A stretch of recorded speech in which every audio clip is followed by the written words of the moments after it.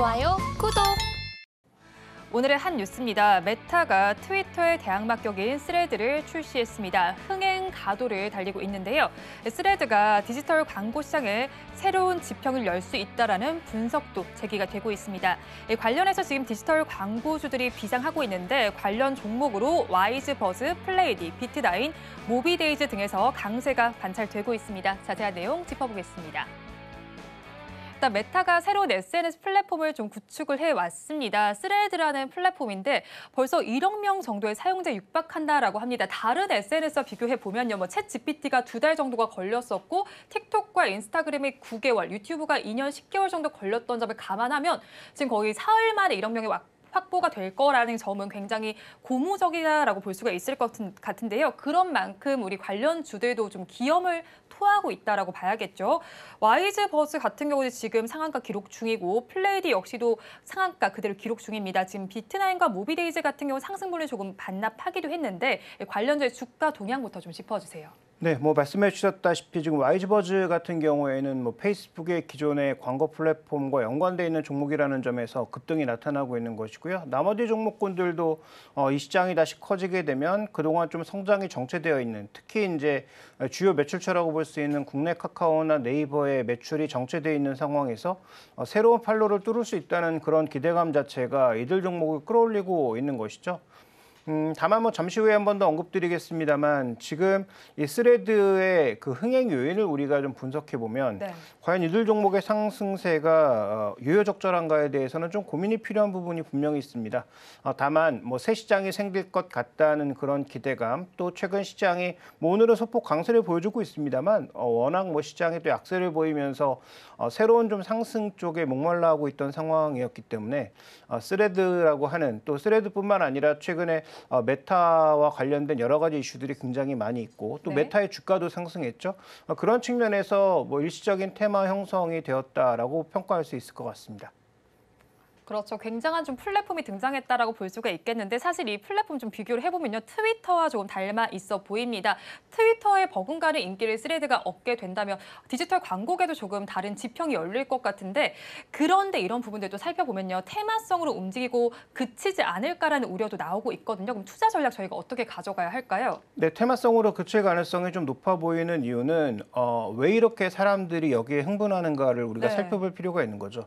어, 먼저 그러면 트위터 트위터에서는 왜 급격하게 사람들이 이탈했을까라고 살펴보면 유료화, 그 다음에 여러 가지 제한을 걸기 시작하면서 사람들이 가기 시작했던 거죠. 두 번째로 SNS에 사람들이 염증을 느끼기 시작했던 이유는 어, 원래 내가 아는 지인들과 소통하기 위해서 시작한 어, 플랫폼인데 어, 요즘은 소통보다는 뭐 대부분 사람들이 마찬가지겠습니다만 인스타나 뭐 페이스북이나 모두 개인 피드에 뭐가 뜹니까? 전부 광고만 뜨는 거죠.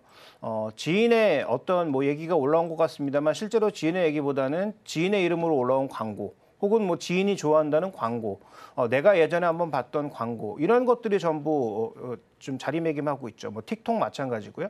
어, 그러다 보니까 사람들이 SNS의 본질에 대해서 이제 실, 실증을 느끼고 짜증을 내기 시작한 그런 상황에서 어, 텍스트 기반으로 좀 더 어, 굉장히 예, 미니멀하게 그렇지만 또 글자 수는 예전보다 좀 확대돼서 어, 실릴 수 있다는 점에서 사람들이 여기에 흥분하고 있는 점입니다. 그런데 만약에 여기 다시 광고를 단다? 네. 예전 SNS와 똑같은 길을 간다? 그러면 과연 지금 이렇게 흥분하고 있는 사람들이 여기에 그 정도의 에, 그 흥분도를 보일 수 있을지는 저는 좀 의문점이 있기 때문에 지금 왜 스레드가 뜨고 있는 것인지에 대한 배경을 살펴보면 현재 지금 올라가고 있는 종목군들의 상승세가 유효한 것인지 또 어, 계속 이어질 수 있을 것인지는 조금 물음표가 필요하다라고 봐야 될 것 같습니다.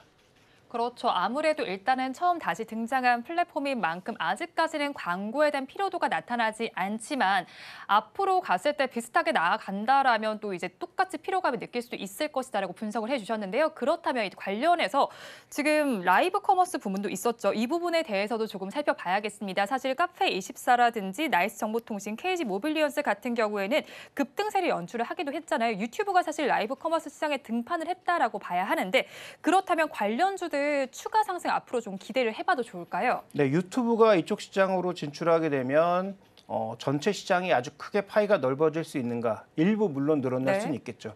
근데 잘 살펴보시면 뭐 기존에 가장 뭐 활발하게 하던 뭐 페이스북이라든지 인스타라든지 어, 그다음에 뭐 네이버 라이브라든지 그다음에 최근 들어서 뭐 토스도 이에 대해서 적극적으로 하고 있는 양상이고요. 아, 그다음에 이제 안 하고 있는 플랫폼이 거의 없을 정도로 라이브 커머스는 이제 다 하고 있는 어, 상황이죠.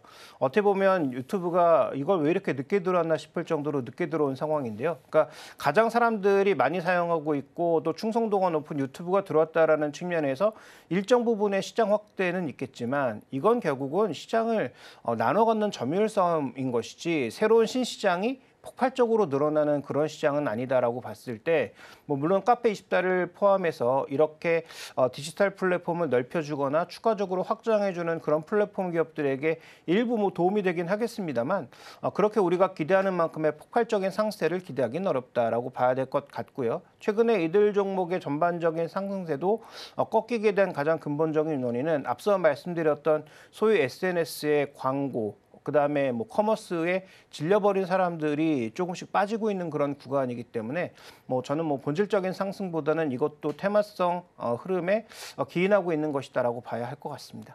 네, 그렇다면 이런 부분 광고에 대해서 사실 안 할 수는 없잖아요. 수익적 측면에서 안 할 수가 없는데 이런 광고들은 어떤 방향으로 나아가야지 피로도를 느끼지 않고 좀 긍정적인 방향으로 나아갈 수 있다라고 보실까요? 네, 내가 광고를 봤나 보지 않았나 뭐 느끼지 못할 정도로 그렇게 네. 광고를 흘려 보내야 할 텐데 뭐 그건 뭐 정말 어렵죠. 뭐 제가 뭐 마케팅 전문가는 아닙니다만 어, 그런 식의 마케팅은 뭐 세대를 돌아보더라도 뭐 1년에 한두 개 나올 정도의 어떤 그런 뭐 기발한 광고들이기 때문에 어, 그런 것들을 일반적인 플랫폼에서 기대하기는 어렵다라고 봐야 될 것 같습니다. 어, 그렇다면 본질적으로 이제부터는 AI 기반의 광고 확장 아, 이런 것들이 그나마 어, 뭐 사용자 입장에서는 조금 필요한 것들 그다음에 내가 원하는 것들을 광고로 돌아오는 것이기 때문에 그러면 저항감이 조금 덜하겠죠. 근데 지금은 내가 한번 눌러보기만 해도 계속 반복해서 광고가 그렇죠. 뜨고 어, 그다음에 나의 연관돼 있는 친구들이 광고를 보면 그 광고도 나에게 또 연관되어서 뜨고 이런 형태가 나타나고 있다 보니까 피로감을 느끼는 것이어서 어, 좀 더 AI로 정밀하게 예, 타겟 광고팅을 할 필요가 있다라고 보고 있습니다. 그래서 최대한 피로도를 낮추고 그다음에 보는 이용자가 어, 거리 어, 그 방어감 없이 볼 수 있도록 어떤 그런 허들을 낮춰줘야 된다라고 볼 수가 있겠죠. 아, 그런 관점에서 이제 네이버가 어, 이번에 7월달에 나올 어, 그 검색 엔진, 그다음에 검색 서비스의 확장 아, 이런 것들을 통해서 어느 정도의 서비스를 가져올 수 있을지 한번 살펴볼 필요가 있을 것 같고요. 뭐 구글 바드나 아니면 챗GPT도 마찬가지입니다. 현재 AI도 뭐 아까 보신 네. 것처럼 폭발적으로 확장했다가 지금 1억 명에서 계속 멈춰지고 있는 상황이잖아요. 이것도 마찬가지라는 거죠. 해보니까 별거 없더라. 처음에 신기했는데 써보니까 별거 없더라. 그 다음에 조금만 심한 데서 뭘 해보면 쓰레기더라. 이런 얘기들이 계속 나오기 시작하면서 확장이 멈춰져 있는 거죠. 그렇 다면 이거 B2B로 넘어가야 되고 그 다음에 돈 되는 산업으로 넘어가야 되거든요. 그러니까 그런 관점에서 봤을 때 결국은 뭐 챗GPT, 그 다음에 뭐 바드, 그 다음에 이번에 나올 네이버의 클로버엑스는 점검이 좀 필요하긴 합니다만 어, 이렇게 AI로 특화된 광고 정도만 어, 그나마 앞으로 살아남고 더 확장할 가능성이 있지 않나 이렇게 봐야 될 것 같습니다. 네, 사실 그쵸 수익 수, 수익성 측면을 생각한다라면은 지금 굉장히 광고를 안 붙일 수는 없는데 어떻게 전략을 짜 나가야 할지 고민이 좀 필요한 시점으로 보입니다. 이어서 다음 주제는 화면을 통해서 보겠습니다.